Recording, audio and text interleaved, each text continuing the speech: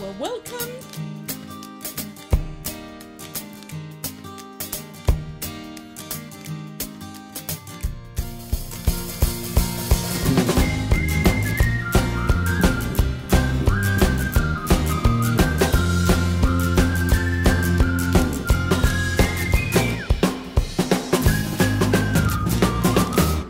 Welcome to Kids Church.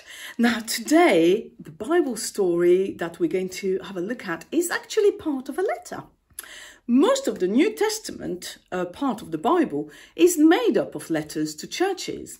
And this guy named Paul wrote a whole bunch of those letters.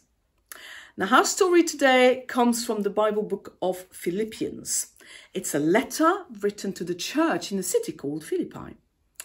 Now, think about what advice you'd write in a letter to our church. Hmm. Well, the people of the church in Philippi loved Jesus and they loved Paul, but they had some problems. They fought with each other and they were really, really competitive. They all wanted to be the best. And people who seemed important would never eat or spend time with lowly servants. And that behavior didn't really reflect Jesus' heart. So Paul had some advice for them. Let's see what it was. Now we'll read Paul's letter, but first we need to know what life was like for Jesus in heaven. He had so much. He is God. So he is equal with God. And God is the king of everything. So let's make crowns to remind us how Jesus really is. Jesus also had divine privileges. That means he had all of God's power. Now let's make some lightning bolt to show that. In heaven, Jesus also probably didn't look like a human. He must have looked so much more glorious. We'll make glorious masks to help us imagine that. And Jesus lived in a place where no one ever dies. So let's make a leaf to remember us of life. You can write your birthday on your leaf to remind you of when you started your life. Now, our Bible passage is all about Jesus being selfless. Here is how we know that. Philippians 2, verses 5 to 6. In your lives you must think and act like Christ Jesus. Christ himself was like God in everything.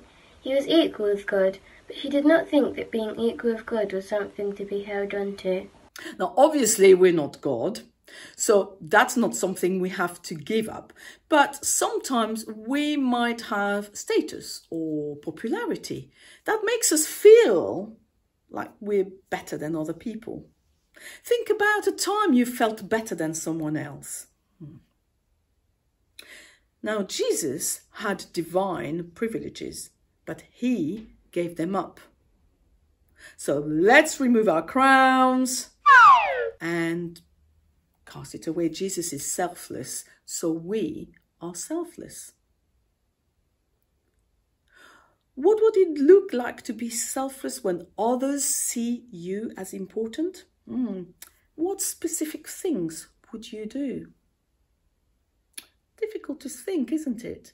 Let's see what else Paul said about Jesus. Verse 7 He gave up his place with God and made himself nothing. We definitely don't have divine privileges or power.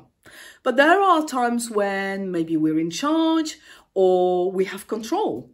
For example, if you get to the TV before your brother and he wants to watch something else, maybe then you can choose to give him his way. Or maybe you have a toy or a privilege that your uh, siblings or friends don't have. Think about a way you that makes you feel in control. Uh, we need to remove those lightning bolts now because Jesus is selfless and so are we. What would it look to be selfless when you have those privileges. You see, Jesus is selfless and he gave up his godly power to put us first. And he also did this. He was born as a man and became like a servant. Well, let's remove our masks then. And because Jesus is selfless, so we are selfless too. Jesus gave up his glorious presence in heaven to be human on earth. He went from a place better than we can imagine to a poor place on earth, a barn, a stable. That shows humility, which is another way to say to be selfless. Humility means lowering yourself to make others more important. So Jesus is selfless, he became human. And then. Verse 8 And when he was living as a man, he humbled himself and was fully obedient to God. He obeyed even what caused his death, death on the cross. Let's remove the leaves now. Let's tear them up. You don't really have to literally give up your life for others like Jesus did, but you can show selflessness by giving up your own interest for others. Think of some examples of a way that you can give up your own interests. Jesus set up an amazing example for us of on how to be selfless. When we truly appreciate what Jesus did for us, then it's easy to pass that on and to be selfless too. Let's listen to another part of our passage. Verses 3 to 4. When you do things, do not let selfishness or pride be your guide. Be humble and give more honor to others than to yourselves. Do not be interested only in your own life, but be interested in the lives of others. Now remember, the church in Philippi fought a lot and they competed to be the best. When you think of what Paul wrote to them about Jesus' example and the verses we've just read, why do you think it was an important message? And is it an important message for us today? See, the Philippians aren't weren't the only ones to, who fought and tried to be the best. That's a big part of our culture too, isn't it? What we have to remember is that Jesus is selfless and we need to be selfless too.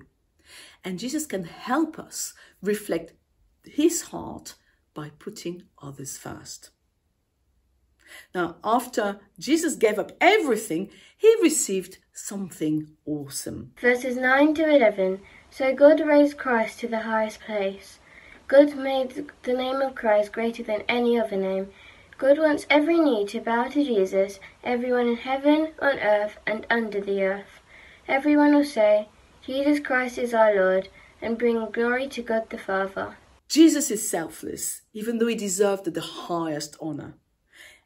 Eventually, he got that honor.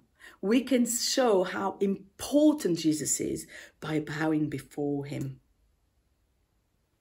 We can honor him by being selfless and putting others first. Learning from him, Jesus is selfless and we can be selfless too. Now, join me to uh, the Resource Centre where there's plenty of activities, praise songs, crafts, uh, videos to watch. And I'm hoping to see you live in real life at Becket Keys for the Gathering, where we have some amazing uh, Bible science experiments every week. See you next week. Bye.